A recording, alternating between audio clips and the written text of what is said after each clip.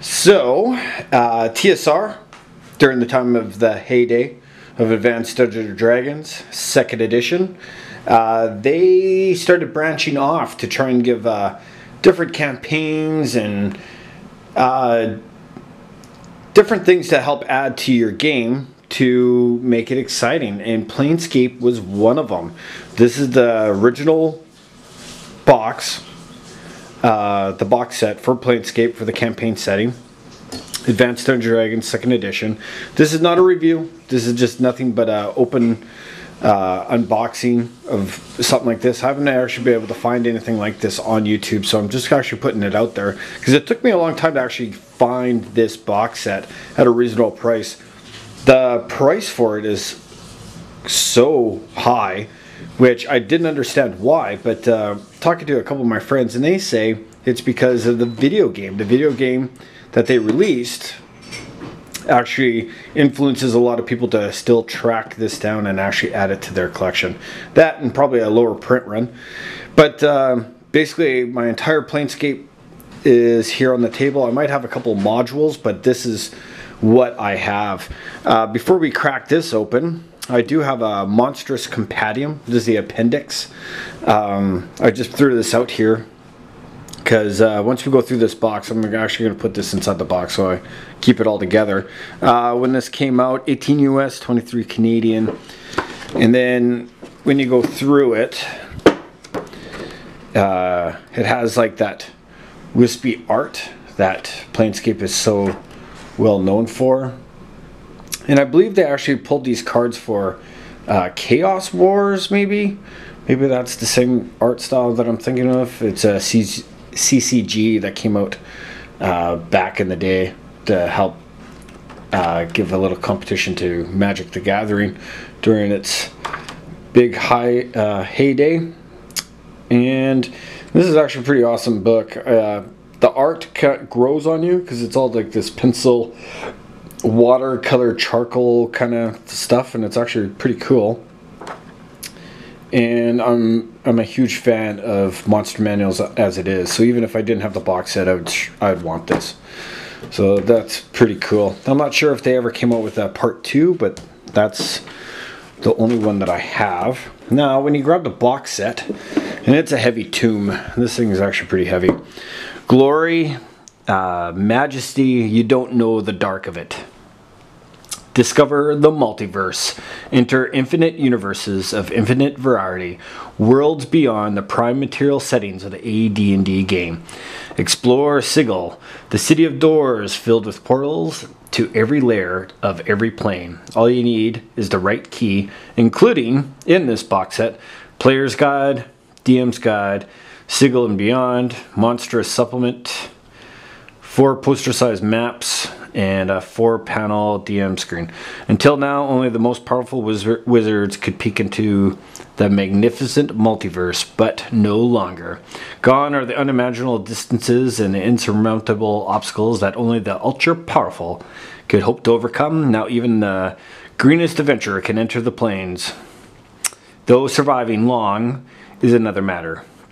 Have at it. Berk, powers, proxies, planars, petitioners, and wondrous monsters await just beyond the portal. Step through and partake of the infinite excitement of Planescape adventures. So, and we'll be careful with it because we don't want to break any of these binds. We'll put that right there. And let's flip this forward and see what's in the old box here. So we have a customer response card. This is the Monstrous Supplement. It's uh, thinner than the, that original one. And I've actually haven't compared to see if this is some of the same monsters in that supplement that they released. The Modrons, they just came out with a bunch of minis for that in their last last uh, pre-painted release, Spirit of the Air. Oh, we did see that art on the other one. So maybe there is a couple duplicates. And then we have four maps. One, two, three, and four. So we'll just flip one open just to, because they're going to be too big for the screen. But um, just to show you somewhat of the art style, this must be the, yeah, this is the different planes. Oh, the outer planes right here. With a little uh, key code to it, so one, three, and they probably have it all around the actual map so you can actually match up the abyss. Do we even see number 11 on here somewhere? No. Well, 11. This is the abyss. Cool. All right, so we got four maps. Set that in there. This is the DM's Guide to the Planes. Same style of art. Flip through. Nothing's released.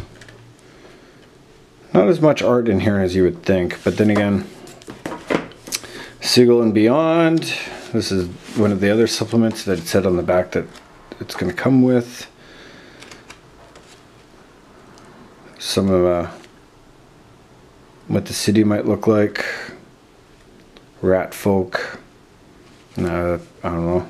Skeksis from Dark Crystal, maybe. Some noble and riding cool little mounts. Prisoners. So I don't know if there's actually uh, a little adventure in there, but be neat to take a look at. Uh, player's guide to the plane. So this must be to help build characters, I guess, or what's what and what's where. Oh yeah, just a just a player's cheat code, so you can actually come in kind of knowing what to expect in this world or this planes, I guess. The art's really nice though. And this actually has full color. The other ones seem to have a little bit more line art. And then you have your DM screen. It's four panel page fold out. Uh, the art on both sides and then with the, the crazy icon in the middle. So we'll put that in there and we'll close this up. So if you're thinking about picking something like this up for your collection, uh, be prepared. These do bring up a lot of costs and uh, do your best to try and get one that's complete. I do see on eBay that people have destroyed boxes so you can find some of these supplements individual auctions but I'll let you decide which route you want to go. But I hope you enjoyed taking a look at this. Um, like I said there's a lot of great videos out there about the actual review. This is nothing but a, just a quick peek of what's inside the box. Alright thanks very much for watching. Hope you enjoyed